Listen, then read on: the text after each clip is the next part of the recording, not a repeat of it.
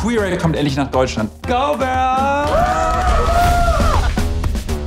Das ist mehr als eine Makeover-Show. Oh mein Gott. Wir kommen zu dir nach Hause und helfen dir dabei, dein Leben aus einer neuen Perspektive zu betrachten. Super gemacht. Moin, Fab. Moin. Heute geht's für euch zu Marleen. Sie ist 18 Jahre jung. Oh, so wie ich.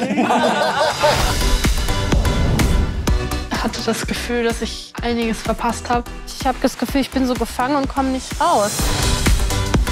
Der Regenbogen, wie bringt Farbe? Wo komme ich raus bei dir? Wie ist es denn mit deinen Haaren? Ich habe die letztens mit der Küchenschere geschnitten. Ich glaube, hier ist einiges zu tun. Kein Plan von Mode? Vier, fünf. Fünf graue Pullover. Hier bin ich. Es geht einfach nur darum, dass du dich wohlfühlst und dass du deinem Körper auch Gutes tust. Ich höre Haare. Marleens Haare schrien. Ich möchte, dass du weißt, dass andere Leute dich super lieb haben und das darfst du nicht vergessen.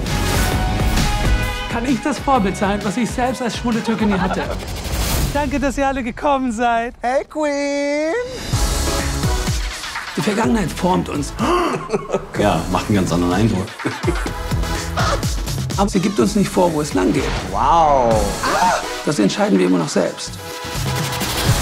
Ich freue mich voll. Dich ja auch lange nicht mehr. Das ist wirklich wie ein ganz neuer Mensch. Und das verdanke ich euch. Du bist toll, so wie du bist.